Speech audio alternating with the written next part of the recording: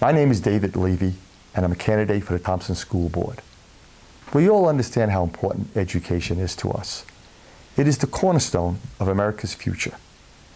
My two children recently graduated Berthoud High School. My daughter is now a senior at Mines, and my son is a freshman at CU and is a Boettcher or Scholarship Award winner.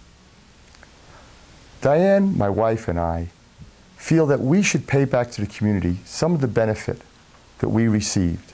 And we feel there's no better way than to make sure students that follow in Clara and Sydney's footsteps enjoy the best education opportunities that they can.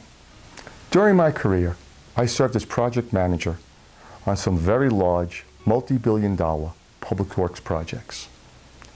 I found from my experience that the more difficult the problem, the more important it was to, find, to develop a consensus of opinion on the best way forward.